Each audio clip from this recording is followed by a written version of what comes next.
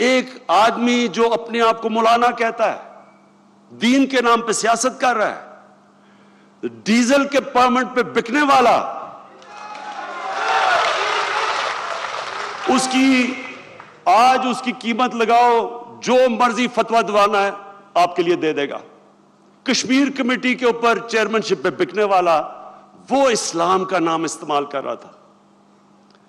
जिन लोगों को, बच्चों को इस्लाम की नहीं समझ किस तरह गुमराह कर रहा है उनको? इसका मैंने तो इससे क्या इंतकाम लेना है? मुझे तो इसकी आखिरत की फ़िक्र है। मैं दुआ माँगता हूँ अल्लाह से कि इसको वो सजा ना दे जो इसको मिलेगी।